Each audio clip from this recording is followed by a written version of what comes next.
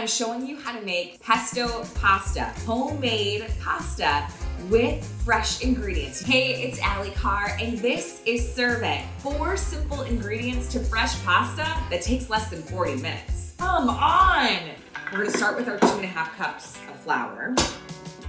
Okay, so we're gonna put in our tablespoon of olive oil, teaspoon of sea salt, pop our eggs in.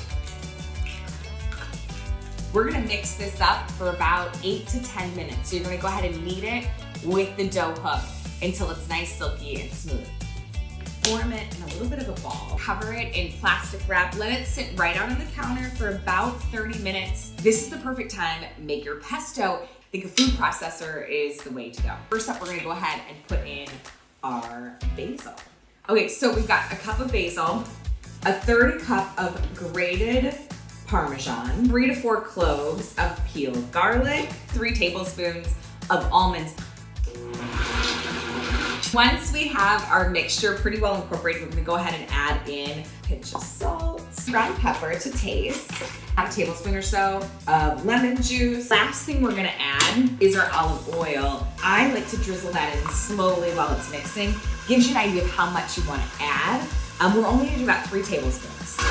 Once that's all emulsified, you've got homemade pesto. Ah!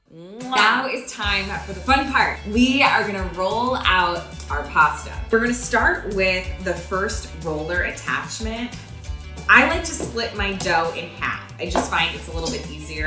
Flour out my hands. You do wanna keep the dough somewhat floured while you're rolling. It doesn't stick to the machine. I simply just kind of press this out and then simply roll it out. If once it comes out, it does feel slightly sticky, just give it a little dusting. We're gonna pop that over to two, roll it through again.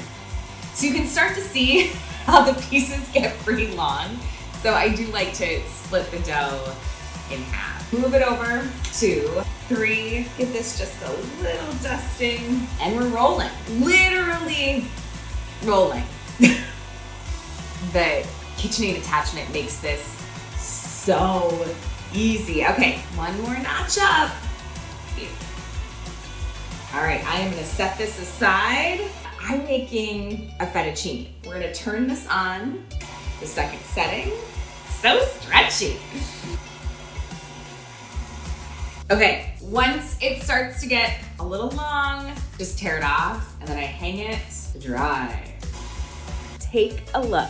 Our pot is ready. Let's cook this up. Now, what's awesome about cooking fresh pasta, two minutes to perfect al dente pasta. You want it soft, cooked all the way through, but it still has a little bit of a bite.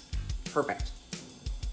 The second that that pesto sauce hits the warm noodles, it's like it has a whole new life to it. Topped it all off with some Parmesan cheese, gorgeous tomatoes, fresh homemade pasta in a pesto basil sauce. Mwah. Thanks for watching this episode of Serve It, made from scratch recipes, but in a really easy way to add a vibrant treat to your table.